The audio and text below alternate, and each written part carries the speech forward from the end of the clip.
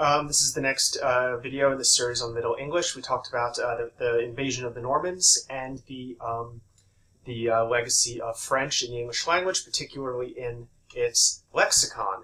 Now we're going to talk about um, the, the, basically an overview of Middle English and the linguistic changes that it underwent.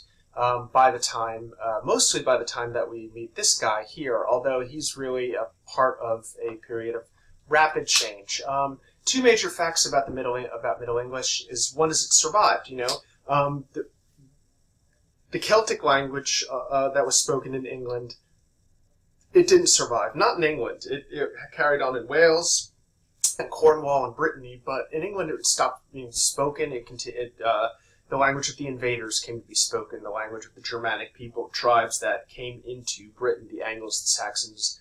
Um, but then when the Normans invaded, they spoke French for a while, but most people didn't. Um, you know, only about 10% of the population at most ever spoke French in England. And so English survives, but also it changes rapidly. Why? It changes more quickly than it did in the Old English period, as far as we can tell, and it changes quicker than it has subsequently. Um, so why did English survive? That's the first question. One, it continued to be spoken as the language of the common people. Monastic scri scribes kept standard Old English alive. Um, there was a one famous uh, writer is called the Tremulous Hand of Worcester. We think he has a shaky hand. Um, and th this written poetic uh, English continues to be carried on, particularly in the west of England, and some people connect it with the uh, revival of alliterative poetry in the 1300s among such poets as um, uh, you know the, the Pearl poet and the Gawain um, and uh, William Langland. Although there may have been a continuous oral tradition of alliterative poetry, we don't know. Um, there were a limited number of French speakers, five percent of the total population of England. Um, but the Normans, as we said, they pulled off their ability to dominate this population through the um, use of heavy cavalry and castles. Um, the bonds between Normans in England and France weakened over time. So, you know, these Normans come over and they speak French, but they're living in England. And um, by 1204, this is when the uh, English crown loses its current claim to the Duchy of Normandy. And so, without that continuous connection and without the continuous territorial holdings of, that, that England had had in France all the way through the 12th century, um, you stop having the, the you start having the aristocracy, the nobility of England, identify more and more with England as English people. And by the end of the 1200s, it's, it's increasingly common that even the nobility's first language is English, and they are learning French from a tutor. And of course, this is why they start getting tutors not from Normandy, um, but from central France, who speak the prestige dialect of French. And this is what when we get a big sort of uh, wave of Central French rather than Norman French coming in, as we discussed in the last video. Um, also, in the for, in the 1300s and 1400s, there is a revival of English during the 100 Years' War. That's supposed to say war. I should fix that. Um, and this culminated in the language policies of Henry V, uh, who briefly conquered France, but also made uh, English an official language. So it does eventually come back, and the consciousness of nationalism, I guess you can call it an early kind of nationalism of the of the English fighting the French, makes them sort of more identify with being English more. And this is when you start getting a great upsurge in English literature and um, laws and writing, and, and, it, and it starts English. The number of domains. Remember this idea of discourse domains um, you know, law, government, medicine, science, religion, all these are different domains. And, and they can, in, in a multiglossic society, those domains can be distributed between different languages. Well, as a, as a language's prestige increases, more of those domains go over to that language with the increasing prestige. They more become English. And so Anglo-Norman was losing its prestige relative to Parisian French, as we discussed above. Um, why did English change so rapidly? Well, uh, regional divergences means more far-reaching changes. There's no central authority ruling over England uh, that's setting the standard for English. because the central authority for several hundred years is speaking French. Um, moreover, it's always been sort of more the upper crust of society that travels from place to place more and and uh, has connections. Most people in the Middle Ages were tied to the land, and they didn't they didn't uh, ever travel more than ten or twenty miles from the town that they were born in, and so they didn't. Um, people who spoke English didn't have as much contact with each other, for, uh, people from other regions, and so regional divergences means more far-reaching changes. When you, uh, if you think about Darwin's finches on the island, the Galapagos Islands, being cut off from each other and not being able to sort of communicate or mate with each other, there's there's a speciation process that goes on. This is what happens. You know, we talked about the role of language contact in causing language change. Language isolation also causes language change. There's no, as I said, there's no prestige variety to enforce standards and slow down change, right?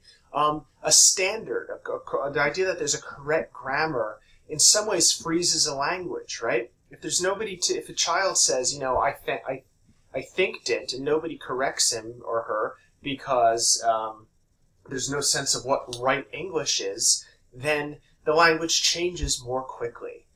Um, there's uh, also an influx of French words puts pressure on the lexical system, um, so that not just there's not just this uh, influx of French words, but they change the meanings in many cases of English words because um, because when you have doublets, when you have redundancies, a language likes to be efficient, or there tends to be a, a, systematic process by which the full range of possible meanings, the words are spread over them. So, for example, the word apple in middle in Old English means fruit, right? Any kind of fruit. And then the word fruit comes in, that's the modern pronunciation of, of fruit, comes into Middle English, and so you have two words meaning the same thing. So what happens there's a narrow a semantic narrowing. Remember from the handout, there's different types of semantic changes. There's a narrowing of apple to uh, to to just mean the the red or green shiny pomerian rather than any kind of fruit because we have that word fruit now, and there, there's a number of cases in which this happens. Um, and here's the big thing. Here's the big mondo change from Old English. Inflections are reduced and simplified we see an, an acceleration of a tendency we see in a lot of Indo-European languages of a movement from a fusional to an isolating language. That is, the grammatical relationships of a sentence are mainly indicated by prepositions and a fixed word order. Remember, I see the good stone, um, the, the good stone is rolling down the hill, all that stuff from our Old English presentation? Well, you, when you lose the case endings, you can't move around the word and still know that it's an object anymore. It has to come after the verb. That's how you know it's a direct object. And as this is going on, many to most grammatical endings disappear, um, but not all. So, three important facts about Middle English, just to sum up. Its phonology is like Old English. Middle English is kind of looking in two directions at the same time. It's still pronounced very much like Old English, even if the writing system changes, and we'll talk a little bit about that in the next video. But its syntax and lexicon is like modern English. That's supposed to say modern English. Um, of course, the syntax and lexicon of Middle English is like Middle English. Ugh. Anyway, I'm not redoing this right now because I'm already eight minutes in. Morphology is in transition. Um, that means that the, the case endings, the sound endings are changing. So an example of this, general reduction of inflections. We had uh, the word mouth in Old English was mutha, muth, right? It's the nominative semuth, uh, is famutha, and so on and so forth. Um, by the time we get to London Standard Middle English of several centuries after Old English, it's just mutha, mutha, smutha, mutha, right? Where the only case that survives is the genitive, or as we come to know it now, the possessive. Muth, muths, right? And so every other case pretty much ends except we have in the, an accusative in the plural here. But mostly we have a reduction. Also, we have a replacement of the n plural form with s. Now that n still survives in a few words, right? Like ox, oxen, child, children, um, brother, brethren, is an old form, but that's been replaced by brothers, right? Which was formed by analogy with the way that most other words. And so analogy is one of the main processes by which um, inflectional decay occurs. Um, we, if the plural of I used to be ion, right? You have two ion, but now we have two I's. And so the, gradually this is one, this is one of the ways that the language has simplified. So we also have a loss of grammatical gender. You no longer have a masculine stone or a feminine ship or what have you. Um, the, everything just it's just you know the only place gender remains is in pronouns. You lose singular and plural distinction in adjectives. It's no longer those beans are goods. It's it's those beans are good, right? Or those beans are spices. No, those beans are spicy, right? We we don't make adjectives agree with the noun in number. Um, demonstrative adjectives, uh, we had many kinds, and they all just collapse into one, this and these. Pronouns, we get the replacement gradually of the um, they, them, their form, um, although there's an intermediate form, as we see in Chaucer, of they, her, hem, where we've adopted the Old Norse for the subject, and then still using the Southern English forms for the uh, possessive and the objective.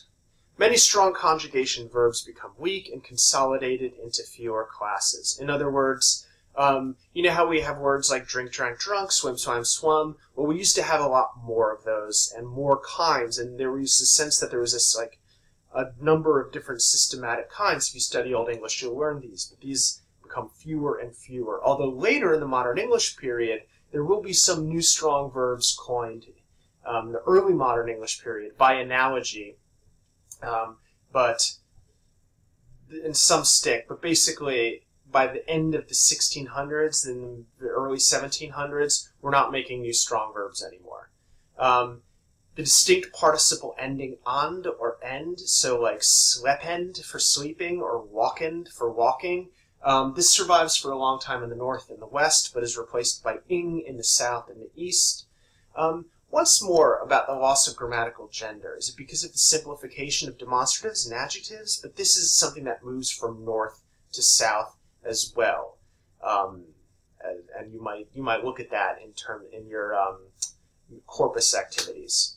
Uh, so one one other thing relative to Old English, the possible word order patterns are limited. There's more use of prepositions. Here's an early Middle English poem, "The Owl and the Nightingale." And I'll read it aloud to you just so you can hear the sound of Middle English and then compare it with the Old English. Each was in on a summerdala in Onasutha Dichelhala, I hörde each hold Greta Tal on hula and on a Nichtingala. That that yo, that letter there is called the yo, and it, it's either in front of a syllable it has a y sound, at the end of a syllable it has a like a h, like Nichtingala. Thought plate was stiff and stark and strong, some we was soft and rude among, and either eigen or other sval. And let that wool mod ut all on either said of other as costa, that all the worst that he woosta, and whore and whore of other song, he hold a plating sooth a stronger. So that's uh, that's some old English, and you can look at the when you look at the PowerPoint, you can compare the syntax. Um, another thing about Middle English, by the way, is that there ain't nothing wrong with no double negatives. Um, in many world languages, such as Spanish and French, um, there is uh, when you when you have more than one negative, it doesn't negate the negative. It's not like it's not like I don't not like it. You know, it sort of makes it means like I do like it. You know, um, that doesn't. That's not the case in Middle English. In the Middle English, we have what's called multiple negation or negative concord. That more negatives just intensify the the negativeness. Um, so, you know, in the Old English, ne der ode Job not das devil's costing, not harmed job, not the devil's temptation, right? The double negative reinforces. Same in Middle English. That none of us ne spake not a word, that to no wichtut shall this counsel rea. This is from Chaucer's Troilus and Cressida. And he's saying, don't tell anyone, basically, is what this means. That none of us ne speak not a word that to no white thou shall this counsel rea. And um, also we get in Middle English, and this is unique to Middle English, compound negatives. Um, we don't we don't say wouldn't or isn't or doesn't, but we have this nay that comes before a verb to negate it, and it gets compounded. So ne wolda means nolda, and that means wouldn't or won't. Ne is nis, and that means isn't. Ne wist is nis, and that means dunno, doesn't know. Ne will is nil. And actually, if you've ever heard the expression willy nilly, as in he'll do it willy nilly, whether he wants to or not, that's a weird little fossil of Middle English for you right there. That's all we got for you right now. Um, but uh, I hope this has been helpful and, and, illuminated some of the more confusing things about this PowerPoint. Um, uh, and I'll try to and I'll fix those uh, mistakes. Um, so if you're watching this in the future, uh, they've already been fixed. Yay! Bye.